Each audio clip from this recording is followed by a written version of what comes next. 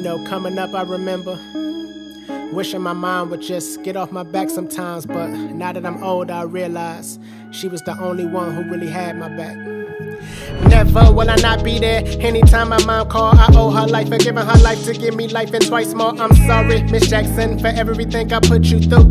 Now that I'm older, I wish I would've just listened to you, but I was just living. I've learned from the mistakes I've made. Know that everything you taught me is embedded in my brain. This is a thank you for every sacrifice you made, for having me, for raising me, for every dinner plate you made. Times when I was down, you lifted me up. You always believed in me, taught me to never give up. When times was hard, I never knew you robbed Peter to pay Paul. The fact you robbed Jack too, to make sure that we had it all. You filled the void from the absence of my father. That's why I could never respect that man for leaving me in your hands. Dear mama, I dedicate this song to you. I love you for who you are, the mother you've been to me, and all you're doing, that's real. Dear mama, I dedicate this song to you. I love you for who you are, the mother you've been to me, and all you're doing, that's real. Song for you. Mama, I love you, yeah. Mama, I love you, yeah. Mama, Mama.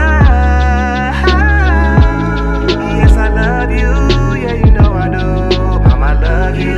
Thanks for being the only woman in this world whose love never changed, regardless to the pain. Thanks for giving me the knowledge, the skills, and the abilities to make it as a competent being in a world where those who lack them qualities get ate alive. For every time I made you cry, I apologize. You saw me moving down that dark path, growing fine in the streets and protecting me from themselves and maybe homicide. Mama knows, even at times when I thought she didn't, didn't always have to come out with it. I guess she can sense it. It's like she has superpowers, cause I swear she did it all. She made the impossible possible, and problems seem small. Know it was a hard job trying to raise a man, and sacrificing your dreams wasn't in the plan. Now that I got my own kids, I really understand. You're living proof that women can indeed raise a man. That's real.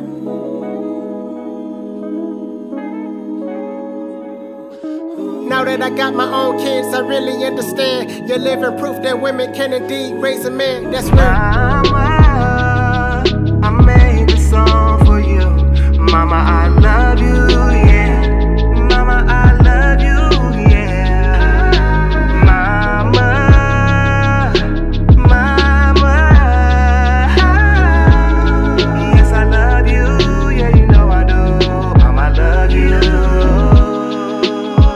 A black queen you are.